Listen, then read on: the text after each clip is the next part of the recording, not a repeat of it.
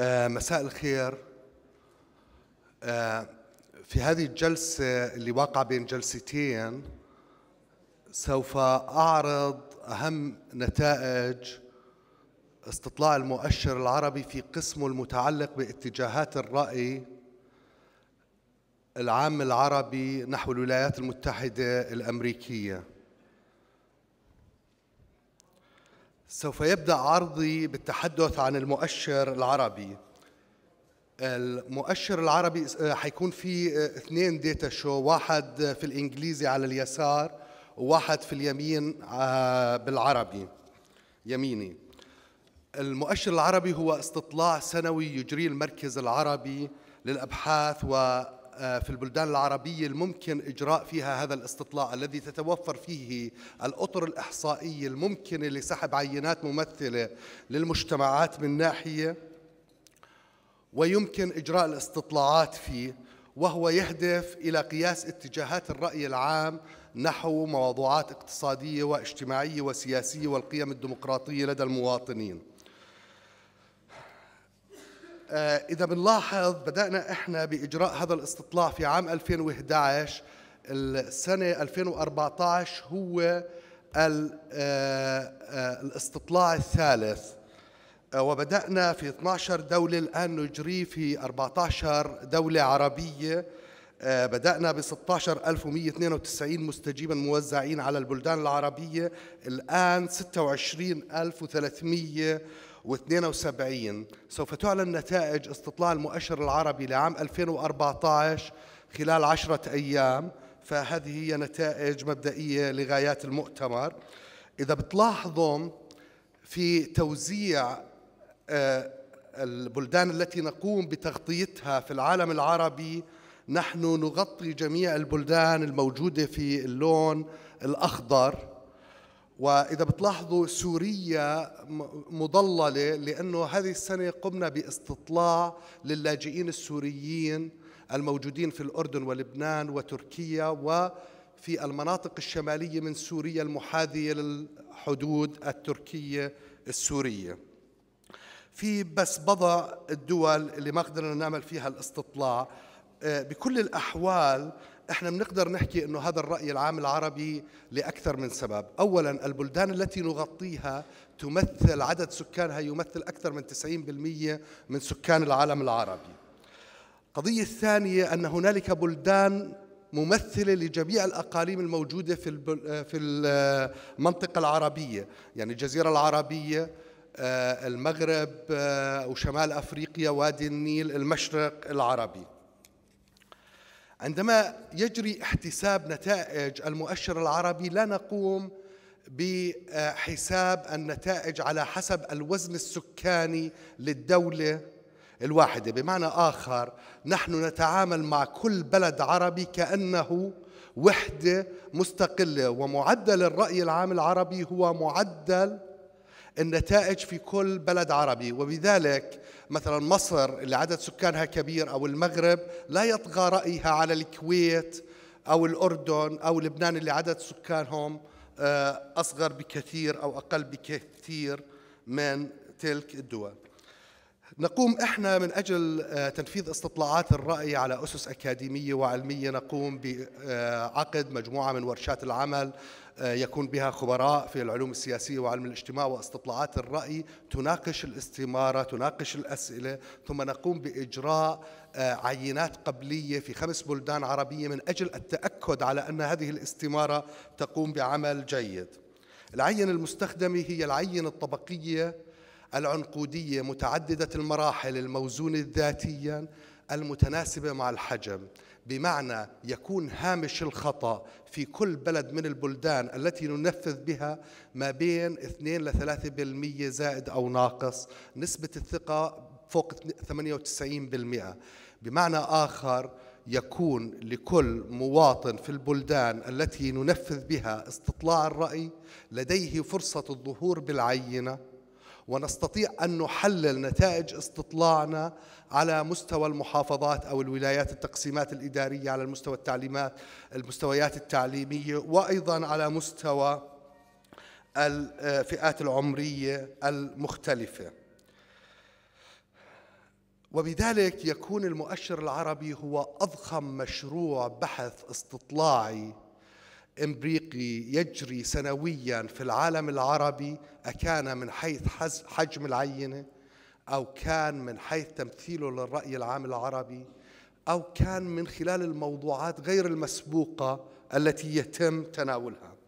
باختصار شديد الموضوعات الرئيسية للمؤشر العربي هي الأوضاع العامة لمواطني المنطقة العربية تقييم الرأي العام تجاه مؤسسات الدول وأداء الحكومات اتجاهات الرأي العام نحو الديمقراطية المشاركة السياسية والمدنية دور الدين في الحياة العامة والحياة السياسية اتجاهات الرأي العام نحو المحيط العربي ومصادر تهديد الأمن الوطني والثورات العربية أو الربيع العربي.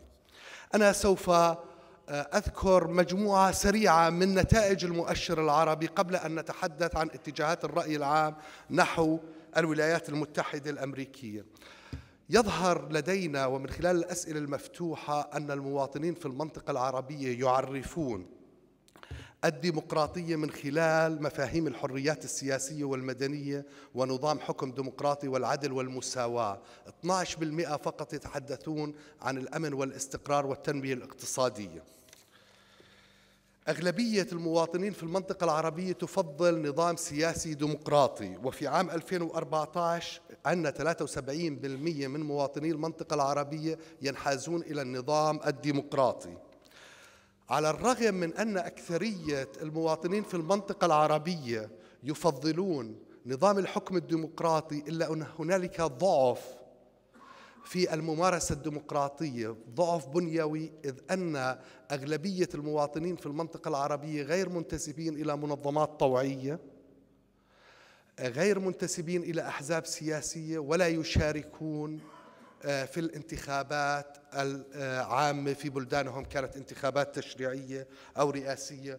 ومنلاحظ أنه قديش عدد الناس الذين يقولون في هذا الشكل أنهم غير منتسبين إلى أحزاب سياسية ولا يوجد آه، حزب سياسي يمثلهم.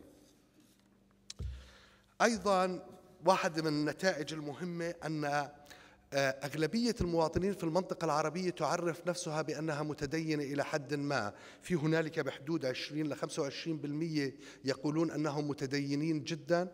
وهنالك بحدود 10% يقولون أن أنهم متدي أنهم غير متدينين. يعني كأن هنالك قطبين غير متدين ومتدين جدا وأغلبية الرأي العام تقول أنها متدينة إلى حد ما. مع أنه الأغلبية تقول أنها متدينة جدا أو متدينة إلى حد ما في شيء آه، مهم. أن 58 أغلبية الرأي العام ترى أن الالتزام الديني هو أخلاق معاملات جيدة قيم وسمات جيدة. فقط 38% يقولون أنه إقامة الفروض والعبادات الدينية. ومع أن الأكثرية تقول أنها متدينة جدا أو متدينة إلى حد ما لكن 53% من المواطنين في المنطقة العربية يؤيدون فصل الدين عن الممارسات الاجتماعية والسياسية.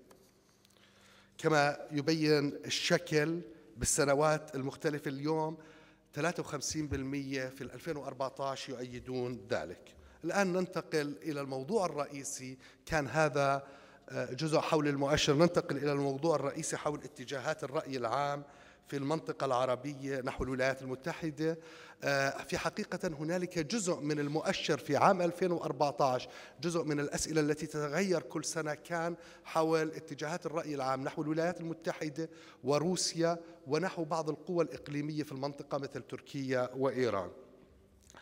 إحنا سوف نعرض النتائج المتعلقة في اتجاهات الرأي نحو الولايات المتحدة الأمريكية. سوف نعرض نتائج مدى معرفة المواطنين المنطقة العربية بالولايات المتحدة الأمريكية واتجاهات الرأي العام نحو الولايات المتحدة ودورها في المنطقة وأهدافها وسياساتها الخارجية. واتجاهات الرأي العام نحو مجموعة من القيم والسمات في المجتمع الأمريكي والإجراءات التي يجب أن تقوم بها الولايات المتحدة من أجل تحسين صورتها في المنطقة العربية. قمنا ببحث آه، مطول ومعمق من أجل أن نصيغ هذه الأسئلة بحيث أن تكون محايدة. والتجأنا في أكثر من مرة إلى أسئلة إلى صيغة السؤال المفتوح حتى نعرف كيف يفكر المواطنين. أن لا نعطيهم عبارتين أو عبارة ونطلب منهم أن يوافقوا عليها أو لا يوافقوا عليها. 29% من مواطني المنطقة العربية قالوا أنهم يعرفون الولايات المتحدة معرفة جيدة جدا أو جيدة. 42% قالوا أنها قليلة. و 24% قالوا بالكاد أنهم يعرفون عنها شيئا. 24% يعني هذه نسبة مرتفعة في ظل مدى انغماس الولايات المتحدة وحضورها في السياسات العربية الداخلية أو الإقليمية الموجودة في المنطقة. آه، بطبيعة الحال إحنا لم يكن لدينا هنالك أسئلة تتأكد هذا التعريف الذاتي لمعرفتهم في الولايات المتحدة للتأكد موضوعيا من مدى معرفتهم. يعني لم نسألهم عن أحداث محددة أو عن شخصيات سياسية أو فكرية أو فنية في الولايات المتحدة. نجد أن هنالك أن معرفة المستجيبين في الولايات المتحدة مختلفة بين مجتمع عربي ومجتمع آخر. فنستطيع أن نقول أن المعرفة مرتفعة لدى المجتمع الكويتي والسعودي لكنها منخفضة في بلدان مثل موريتانيا والجزائر ومصر. وإذا بتلاحظوا من خلال الرسم مثلا في مصر 44% قالوا بالكاد نعرف عنها شيء. 29% قالوا أنها معرفة قليلة. المعرفة الجيدة جدا كانت فقط ل 3% من الرأي العام المصري 11% قالوا معرفة جيدة. تزداد المعرفة لدى الفئات الأكثر شبابا والفئات الأكثر تعليما آه، في المنطقة العربية. مصادر المعرفة عن الولايات المتحدة الأمريكية هو أولا وسائل الإعلام ثانيا الأفلام ثالثا الأصدقاء والأقارب والمعارف. 10% من المدرسة والجامعة أو عن طريق الإنترنت 8% إذا أخذنا بعين الاعتبار من خلال استطلاعاتنا أن المواطنين في المنطقة العربية يعتمدون على القنوات التلفزيونية لمتابعة الأخبار وللحصول على معلومات نجد أن أكثر من نصف المجتمع العربي يعتمد في معرفته على الولايات المتحدة الأمريكية عن طريق وسائل مرئية. يا إما السينما يا إما التلفزيونات التي آه، تعطي أخبار يا إما محطات التلفزة الموجودة والتي تعرض أفلام أمريكية ويتابعها المواطنين. ولذلك حتى إذا كان هنالك نظرة سلبية عن المجتمع أو الثقافة الغربية فجزء منها هذه الأفلام بالذات التي تختار من قبل محطات تلفزة محددة تختار أفلام محددة تعرضها للمواطنين العرب اللي هي أصل أغلبها أفلام أكشن وأفلام يعني يعني تعطي صورة نمطية عن الولايات المتحدة. اتجاهات الرأي العام نحو الولايات المتحدة عندما سألنا المواطنين ما هي نظرته ما هو رأيه نحو الولايات المتحدة الأمريكية وجدنا أن 26% قالوا أن نظرتهم هي إيجابية أو إيجاب أو إيجابية إلى حد ما بالمقابل آه، آه، نصف الرأي العام العربي يقول أن نظرتهم للولايات المتحدة سلبية بطبيعة الحال كما أشرت نحن سألناهم سؤال لماذا؟ لماذا نظرتهم إيجابية ولماذا نظرتهم سلبية؟ الذين قالوا أن لديهم نظرة إيجابية أعطوا مجموعة وهذا سؤال مفتوح. هذه هي مفردات المستجيبين الذين قمنا بسؤالهم. الذين قالوا أن نظرتهم إيجابية قالوا أن الولايات المتحدة دولة ديمقراطية وتدعم الديمقراطية وتحترم حقوق الإنسان 7% من العينة. أنها تقدم المساعدات الاقتصادية للبلدان أو الشعوب العربية. أو بلدهم بصفة خاصة 4% دولة متقدمة ومتطورة تكنولوجيا وحضاريا 4% الإعجاب بقوة الولايات المتحدة اقتصاديا وسياسيا كقوة عظمى. 2% سمات إيجابية لدى المجتمع والشعب.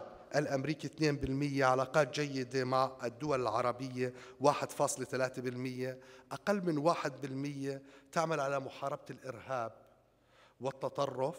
اللي هو نقطة أساسية خلال ال 16 سنة أو ال 14 سنة الماضية على أجندة الإدارة الأمريكية.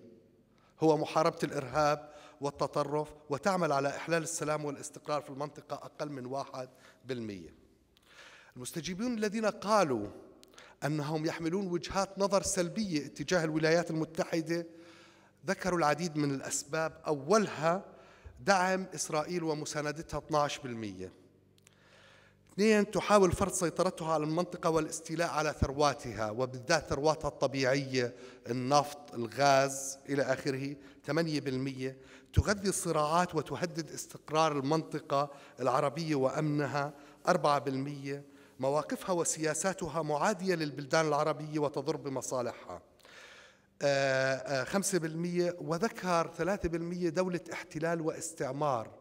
وكانوا يعودون بدولة احتلال واستعمار على تجربة العراق وتجربة أفغانستان. يعني ما كانوش بيحكوا لأنه مثلا لما بتسأل عن بريطانيا أو فرنسا بيحكوا عن الاستعمار القديم. لكن الآن لأول مرة عند المواطنين في المنطقة العربية آه، آه، دليل على أن هنالك آه، جانب استعماري للولايات المتحدة. ما يهمني من هنا أن أقول أن الذين قالوا أن الولايات المتحدة الأمريكية هي ضد الإسلام أو مبادئ الإسلام أو ضد المسلمين كانت 2% فقط. وبالنسبة لنا إحنا رجعنا ل 17 ألف إجابة مفتوحة وكان هذا بالنسبة لنا مفاجأة لأننا كنا نتوقع مع زيادة الخطاب حول الإسلام كان آه، في المنطقة العربية أو في الولايات المتحدة الأمريكية توقعنا أن تكون النتائج أعلى بكثير أن المواطنين يقولون أننا أن آه، الولايات المتحدة آه، نظرتنا سلبية للولايات المتحدة لأنها تقوم بمحاربة الإسلام أو محو الإسلام أو إلى آخره من هذه القضايا. طبعا هنالك سمات سلبية في المجتمع الأمريكي أقل من واحد بالمية وهذه السمات ذات طبيعة ثقافية وقيمية. لها علاقة بالأخلاق لها علاقة بطبيعة آه، العلاقات الاجتماعية في المجتمع الأمريكي. إذا الذين ركزوا على قضايا أخلاقية أو ثقافية كانوا أقل من 3% إذا أخذنا بعين الاعتبار أن هامش الخطأ بين 2 ل 3% في كل استطلاع فيقعون ضمن هامش الخطأ. بس هذا هو النسبة. كما أشار الدكتور عزمي اليوم في الصباح أنه إحنا اكتشفنا لما كنا بنطلع على هذه ال ال الإجابات أن المفردات المستخدمة هي مفردات التي كانت تستخدم في الخمسينيات والستينيات من قبل حركات التحرر من قبل اليسار الهيمنة السيطرة.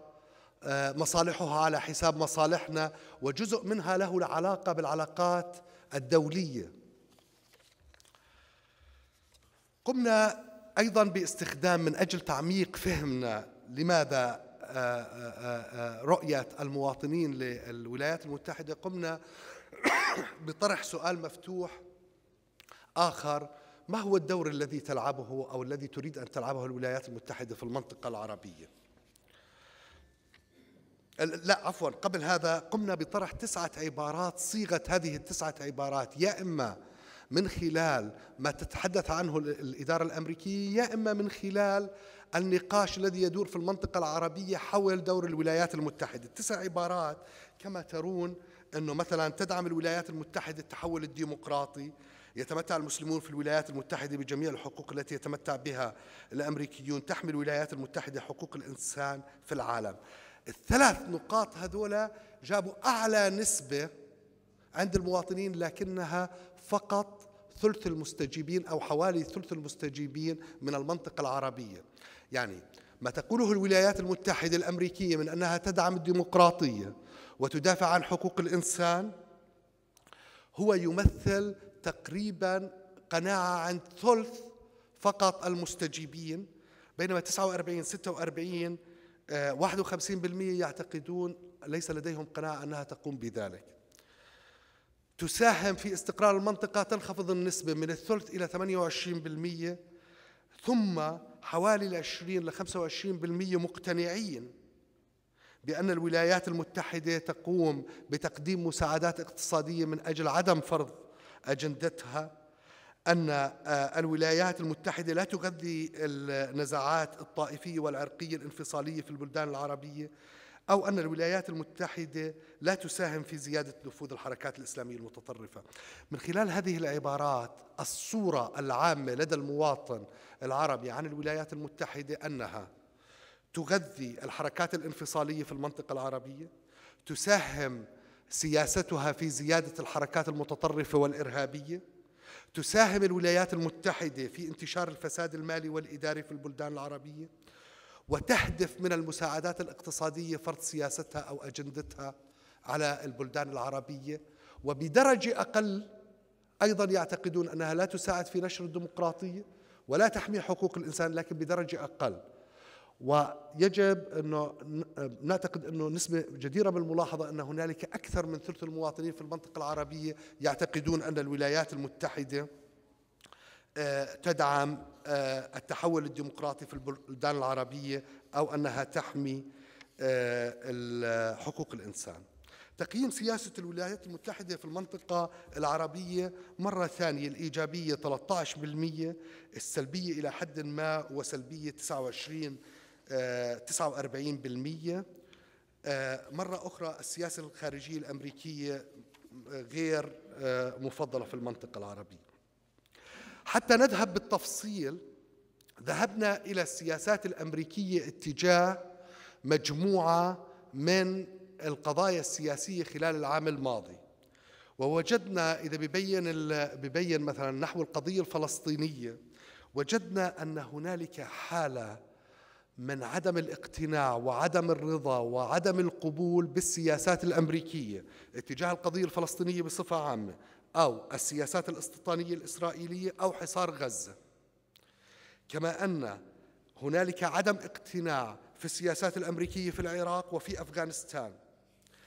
هنالك عدم اقتناع بدرجة أقل شوي اتجاه الثورة السورية بصفة عامة واتجاه استخدام السلاح الكيماوي في سوريا. هنالك عدم اقتناع باتجاه النظام الجديد في مصر بعد عزل مرسي وهنالك عدم اقتناع في اتجاهات آه، في سياسات أمريكية اتجاه الأحزاب السياسية الإسلامية واتجاه البرنامج النووي الإيراني. بمحصلة نهائية السياسة الخارجية الأمريكية تعاني إشكالية في مصداقيتها وفي قبولها أو حتى ربما في فهمها وفي قبولها وفي رفضها. أغلبية المواطنين في القضايا المحورية في المنطقة العربية يعتقدون أن السياسة الأمريكية غير مقبولة أو أنهم يرفضونها. سألنا أيضا من خلال صيغة السؤال المفتوح عن الهدف الأساسي الهدف الأساسي التي تسعى الولايات المتحدة لتحقيقه في المنطقة العربية وأيضا جمعنا بحدود 17 ل 18 ألف إجابة مفتوحة بمفردات المستجيبين وصنفناها فكانت ما بين نوعين. الأهداف إيجابية وأهداف سلبية. الأهداف السلبية كانت 68% الأهداف الإيجابية 6% الذين لا يعرفون ورفضوا الإجابة 26% الأهداف الإيجابية يمكن تصنف في خمس أنواع اللي هي نشر الديمقراطية. إذا ببين عن عبد ممكن؟ إذا ببين عنا إنه نشر الديمقراطية ودعمها آه وحماية حقوق الإنسان 2% تقديم الدعم والمساعدات للدول والشعوب العربية 2% تحقيق الإسلام وتحقيق آه، السلام والأمن والاستقرار في المنطقة العربية. وتعزيز علاقاتها السياسية والاقتصادية مع الدول العربية 1% لكل منها ومحاربة الإرهاب آه، أقل من واحد بالمية. الأهداف السلبية ومرة أخرى المفردات المستخدمة هي مفردات ليست لا تعكس أن الموقف السلبي من الولايات المتحدة هو موقف ديني أو ثقافي أو قيمي. مرتبطة تماما بالسياسة الخارجية المفردات لها علاقة في التحرر في الاستقلال في أن يكون العرب أصحاب إرادتهم في القرار السياسي. 21% فرض هيمنتها ونفوذها على المنطقة العربية والعالم. الأغلب على المنطقة العربية ولكن ذكروا المستجيبين أيضا العالم. استغلال الثروات الطبيعية للبلدان العربية ونهبها وبخاصة النفط. التدخل في الشؤون الداخلية للبلدان العربية وفرض أجندتها السياسية على المنطقة. السيطرة الاقتصادية وإيجاد أسواق لمنتجاتها مساندة إسرائيل ودعمها والدفاع عنها لتحقيق أهدافها. انتهاج سياسات معادية للعرب تؤدي إلى نشر الدمار والقتل. الحيلولة دون اتفاق العرب ووحدتهم وزيادة الانقسام بينهم. احتلال البلدان العربية أو استعمارها ودائما النقطة المرجعية هي العراق وأفغانستان. المواطنين العرب عندما يتحدثون عن الاحتلال يتحدثون لديهم اليوم دليل ما فعلته في أفغانستان أو في العراق. طبعا إثارة النزاعات في البلدان العربية وزعزعة السيطرة العسكرية والوجود العسكري قواعد قوات إلى محاربة الإسلام محاربة الإسلام أو محاربة المسلمين أو أي شيء له علاقة بالإسلام كان واحد بالمية. بمعنى آخر أنه واحد بالمية من الرأي العام العربي كان يتحدث عن أهداف أمريكية لها علاقة بمحاربة الإسلام في المنطقة العربية. طبعا واحد بالمية فرض ثقافتها اللي هو ممكن يكون أيضا ثقافي أو قيمي.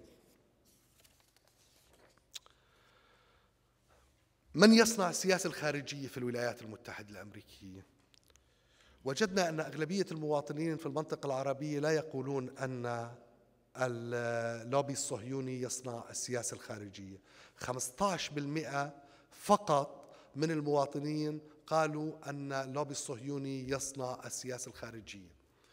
مقارنة مع بعض الدراسات الميدانية التي جرت في 2003-2004 بعد احتلال العراق كانت أغلبية المواطنين العرب في 2003 2004 بطبيعة الحال الاستطلاع لم يكن بهذا الحجم ولم يكن ممثلا لكل المنطقة العربية. كانوا الذين يعتقدون أن اللوبي الصهيوني هو الذي يصنع السياسة الخارجية الأمريكية آه، بتحالفه مع اليمين المسيحي أكثر من 55% اليوم يقولون أن الرئيس الأمريكي 22% الكونغرس 20% وزير الخارجية 12% وزارة الدفاع 7% المهم في هذا الموضوع أن الموقف ضد أمريكا لا ينبع من أن هنالك مؤامرة للوبي الصهيوني أو أن اللوبي الصهيوني يمثل أجندة ولا ينبع مرة أخرى من الوضع آه، أو من محاربة الإسلام. آه، بكل الأحوال الرئيس الأمريكي والكونغرس واللوبي الصهيوني وزير الخارجية يمثلون أكثر من 50 أو 62% من المستطلع آرائهم. الشيء المهم الآخر أن دور الإعلام ودور الرأي العام الأمريكي من وجهة نظر العرب هو دور هامشي وغير مؤثر في صناعة الرأي العام العربي. الآن سوف أنتقل إلى جزء لأنه إحنا عندما ابتدأنا نفكر بدراسة اتجاهات الرأي العام نحو الولايات المتحدة الأمريكية قلت أننا قمنا بجهد كبير كنا نريد أن نعرف إذا كانت هذه الاتجاهات متأثرة باختلاف ثقافي أو مدفوعة باختلاف ثقافي أو ديني، خاصة أنه هنالك طوفان من الكتابات حول الصراع الحضاري الثقافي كعامل أساسي في خلق الموقف ضد الولايات المتحدة الأمريكية. قمنا بسؤال المستجيبين في المنطقة العربية على مجموعة من القيم المنتشرة في الولايات المتحدة العرب الأمريكية وعن إلى أي مدى إنها موجودة في بلدانهم أيضا. المقياس كان من واحد إلى عشرة. واحد غير موجودة أو أقل ما يمكن وعشرة موجودة إلى أبعد حد. بمعنى إذا المستجيب قال واحد لأنه آه، الديمقراطية في أمريكا إذا الديمقراطية غير موجودة. إذا قال عشرة معناه الديمقراطية موجودة إلى أبعد حد. وسألنا عن التقدم التكنولوجي عن المساواة بين الجنسين عن الالتزام بالقوانين عن احترام الحرية الشخصية عن تقدير الجهد الفردي عن أنه مجتمع ديمقراطي له قضاء نزيه وعادل وسائل إعلامه له مصداقية. يحترم حقوق الأقليات متسامح ملتزم دينيا. تعكس ال ال النتائج إلى أن المواطنين في المنطقة العربية يقيمون المجتمع الأمريكي في كل النقاط الموجودة باستثناء الالتزام الديني والتسامح بنسب أعلى من تقييمهم لوجودها في مناطقهم. بمعنى آخر أن المواطنين في المنطقة العربية بغض النظر عن وجهة نظرهم النقدية أو ضد الأمريكية هو قادر أن يقدر القيم أو السمات الإيجابية في المجتمع الأمريكي ويقيمها بإيجابية أكثر من مجتمعه لكنه يعتقد أن مجتمعاته ملتزمة دينيا أكثر من المجتمع الأمريكي وهذا له علاقة بمعرفته في المجتمع الأمريكي بطبيعة الحال. اولا ثانيا يعتقد أن المجتمع المجتمعات العربية هي أكثر تسامحا من المجتمع الأمريكي. أيضا سألنا عن مجموعة من المشاكل الاجتماعية التي يمكن أن تواجه أي مجتمع. وسألنا عن الانحلال الأخلاقي الجريمة النزعة المادية التفرقة العنصرية الفساد المالي والإداري التعصب الديني ضعف الروابط العائلية. نلاحظ أن المستجيبين في المنطقة العربية يقولوا أن هذه المشكلات الاجتماعية موجودة في مجتمعهم وفي مجتمعاتهم وفي المجتمع الأمريكي لكنها موجودة في المجتمع الأمريكي بنسب أعلى من النسب الموجودة في مجتمعاتهم. باستثناء شيئين التعصب الديني والفساد المالي والإداري. يقول المواطنين في المنطقة العربية أن التعصب الديني مشكلة يواجهها المجتمع الأمريكي والمجتمع العربي وهي موجودة في المجتمعات العربية بنسب أعلى من انتشارها في أمريكا. وأيضا الفساد المالي والإداري أنها مشكلة يواجهها المجتمعات الأمريكية والعربية وهي موجودة في المجتمعات العربية بنسب أعلى. إذا أردنا أن نستنتج من هذه القضايا التي لها علاقة في القيم نجد أن المواطنين في المنطقة العربية يعتقدون أن القيم السائدة في المجتمع الأمريكي هي قيم مختلفة عن السائدة في المنطقة العربية وهذا يبين في الالتزام الديني في آه، الروابط العائلية في تقدير الجهد الفردي في الحريات الشخصية. مع إقراره إلى أنها مختلفة كنا نريد أن نعرف إذا كان هذا يؤثر على رأيه اتجاه الولايات المتحدة الأمريكية وقمنا بسؤاله إذا كنت قادر وقررت أي من الدول في العالم تختار لأن تهاجر لأن تتعلم لأن تتعالج لأن تتدرب في آه، مجال مهنتك للتجارة لقضاء رحلة سياحية. قرابة نصف الرأي العام العربي اختار الولايات المتحدة. إذا بنقارنها مع روسيا كانت 11 11 10 إلى 13 آه، التجارة والهجرة إلى بلد آخر وقضاء رحلة سياحية أقل. أقل شيء هو قضاء رحلة سياحية. جزء بحبوا أنهم يروحوا على أوروبا أكثر يعني النسب اللي إجت من أوروبا عالية. ماذا يعني هذا؟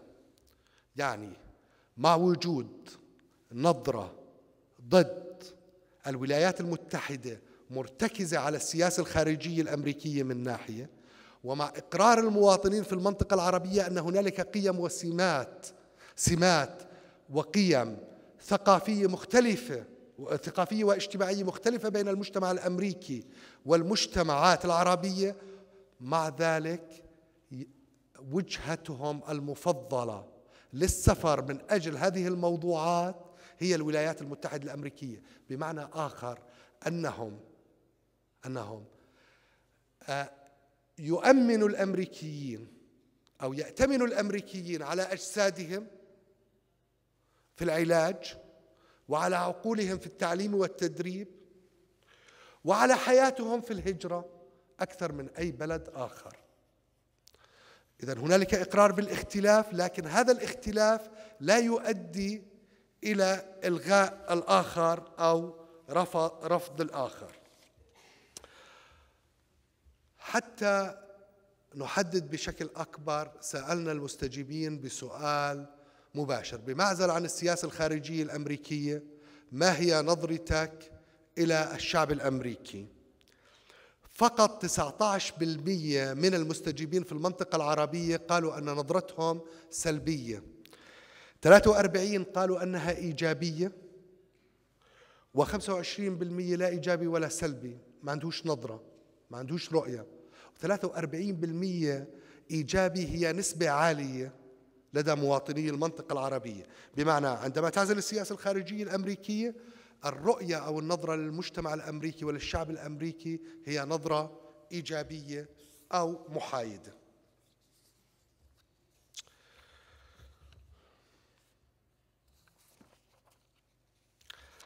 من أجل فحص أثر التباين الثقافي والحضاري والقيمي ما بين المواطنين في المنطقة العربية والمجتمعات العربية وموقفهم اتجاه الولايات المتحدة قمنا بعمل تقاطع أو كروستابيوليشن ما بين الناس حسب تدينهم مستوى تدينهم حسب تعريفهم الذاتي واتجاهاتهم نحو الولايات المتحدة الأمريكية.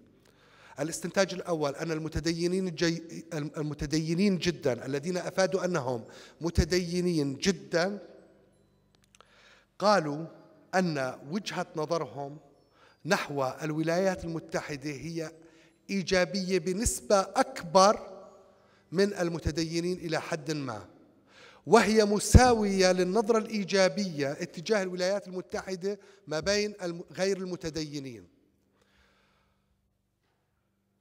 بمعنى أن النظرة الإيجابية للولايات المتحدة تتركز ما بين المتدينين جدا وغير المتدينين. بينما المتدينين إلى حد ما الذين يمثلون أغلبية مواطني المنطقة العربية أفادوا بأن نظرتهم أو نظرتهم أكثر سلبية من المتدينين جدا. بمعنى آخر أنه ممكن يكونوا الحلفاء إذا الولايات المتحدة تبحث عن حلفاء ممكن المتدينين جدا هم اللي يكونوا الأقرب إلى وجهات نظرها أو اللي عندهم وجهة نظر إيجابية. أيضا هنالك بعض النتائج الملفتة للانتباه. إلى أن المؤيدين للنظام الديمقراطي والذي من المفترض أنهم يتقاطعون بالقيم السياسية مع الولايات المتحدة الأمريكية كدولة ديمقراطية ينظرون نظرة أكثر سلبية اتجاه الولايات المتحدة من المعارضين للديمقراطية. بمعنى آخر الذين لديهم نظرة أكثر إيجابية للولايات المتحدة هم المواطنين من المنطقة العربية غير المؤيدين للنظام الديمقراطي آه، في المنطقة العربية. كان هذا التقاطع مهم بالنسبة لنا بحيث أن نحدد بشكل نهائي هل هنالك أثر للدين لاختلاف الدين أو عامل الدين في اتجاهات الرأي نحو الولايات المتحدة. أيضا قمنا بسؤال المستجيبين في المنطقة العربية عن ما هو أهم إجراء يجب أن تقوم به الولايات المتحدة من أجل تحسين صورتها في العالم العربي أو تحسين نظرة المواطنين العرب نحوها. وما هو أهم ثاني قرار أو إجراء وما هو أهم ثالث قرار. إذا بناخذ العمود الأول نجد أن أهم إجراء ذكروه المواطنين يعني أهم إجراء أهم قرار هو وقف الدعم المادي والعسكري والعسكري لإسرائيل 27% التوصل إلى حل سلمي عادل للقضية الفلسطينية 35% بمعنى أن هنالك 52% من الرأي العام العربي عندما سئلوا عن أهم إجراء آه، يجب أن تتخذ الولايات المتحدة الأمريكية من أجل أن تحسن صورتها في المنطقة العربية كان قضيتين لهم علاقة في القضية الفلسطينية. يا إما حل عادل حل سلمي عادل للقضية الفلسطينية يا إما وقف الدعم المادي والعسكري لإسرائيل. طبعا وقف الدعم المادي والعسكري لإسرائيل من أجل الفلسطينيين من أجل القضية الفلسطينية مش مش. الموضوع الثاني الذي يأتي بالمرتبة الثانية هو متنوع ما بين العمل على إيجاد حل الأزمة السورية بما يتناسب مع تطلعات الشعب السوري. يعني بما يتناسب مع إزاحة يعني مع إزاحة بشار الأسد باختصار شديد. اثنين عدم التدخل في الشؤون الداخلية في بلادنا وقف دعم الأنظمة الاستبدادية 4% التعامل باحترام وكرامة مع الشعوب العربية. وبعدين زيادة المساعدات الاقتصادية للمنطقة العمل على إيقاف برنامج إيران النووي زيادة المساعدات الإنسانية. إذا بنلاحظ نجد أن القضايا المساعدات أو الدعم الإنساني تجد في نهاية هذا الجدول. بينما التركيز في رأس هذا الجدول القضية الفلسطينية ووقف الدعم لإسرائيل القضية الثانية هي الثورة السورية آه، عدم دعم أنظمة حكم الاستبداد والتعامل بشكل آه، محترم آه، في احترام وكرامة مع الشعوب العربية. أولا الآن سوف أذكر الخلاصات التي بدأت التي ظهرت من خلال هذا الاستطلاع. اولا هنالك موقف عند الرأي العام العربي موقف ضد الولايات المتحدة الأمريكية. يعني هنالك anti American position هنالك موقف ضد الولايات المتحدة الأمريكية موجود. عند مواطني الرأي عند الرأي العام العربي أو عند مواطني المنطقة العربية. ثانيا المواطنين في المنطقة العربية غير مقتنعين بأن الولايات المتحدة تقوم بأدوار إيجابية في العالم على صعيد دعم الديمقراطية وحماية الأمن والاستقرار أو الدفاع عن حقوق الإنسان. على الرغم من أنه هنالك ثلث أو أكثر من ثلث المستجيبين بقليل يرون أن الولايات المتحدة تقوم بهذا الدور في دعم أو نشر الديمقراطية أو آه، حماية حقوق الإنسان. الموقف ضد الولايات المتحدة هو موقف مبني على السياسة الخارجية للولايات المتحدة في المنطقة العربية. وبالذات الركن الأساسي له هو دعم إسرائيل أولا والقضية الفلسطينية وسعي الولايات المتحدة لتحقيق مصالحها على حساب مصالح البلدان العربية.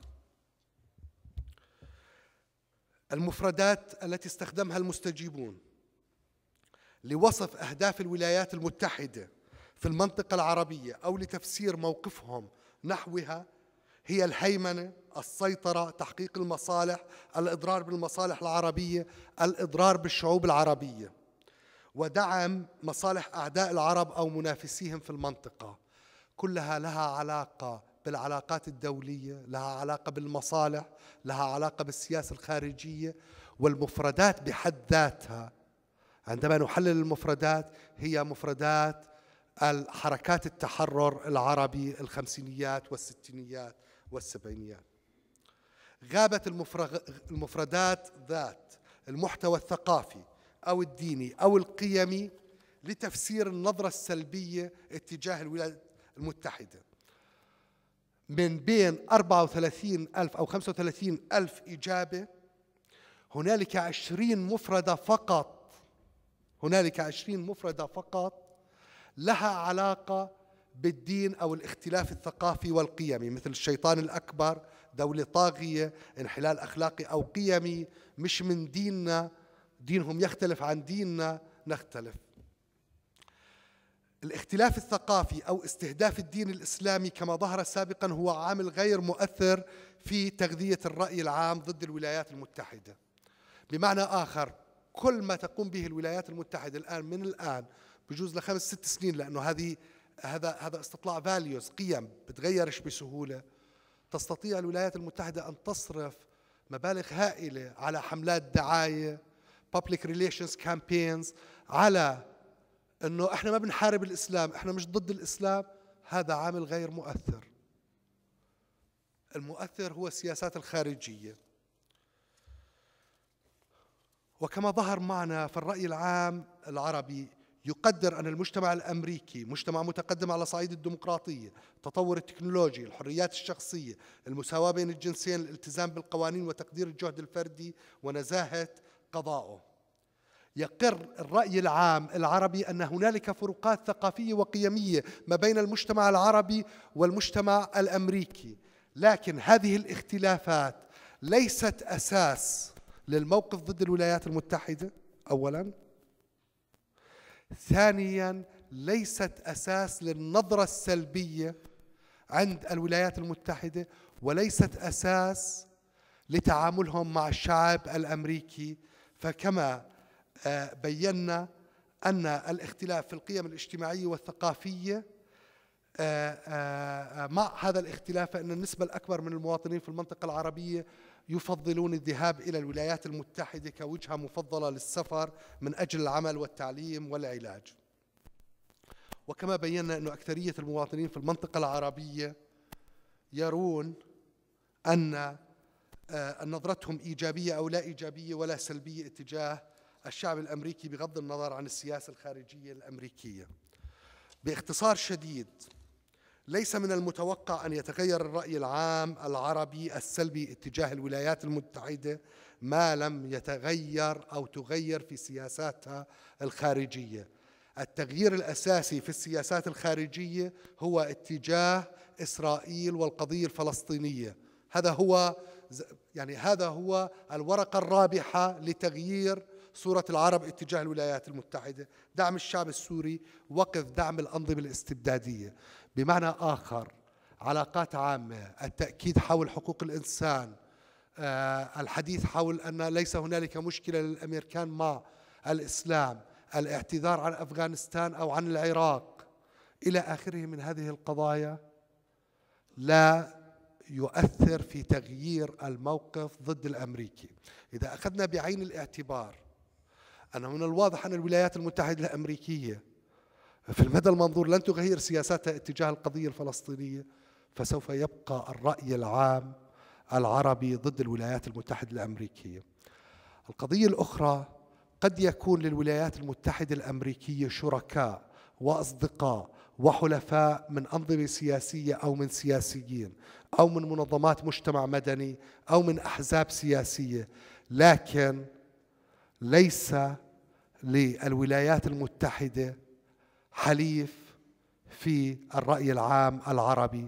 الشعوب العربية لديها موقف ضد الولايات المتحدة مرتكز على موقف عقلاني مرتبط بسياستها الخارجية. شكرا جزيلا على ما يبدو أن الجلسة الثانية ابتدأت وممكن انه نناقش بعض النتائج آه، بالنقاش مع الجلسة آه، الثانية. شكرا.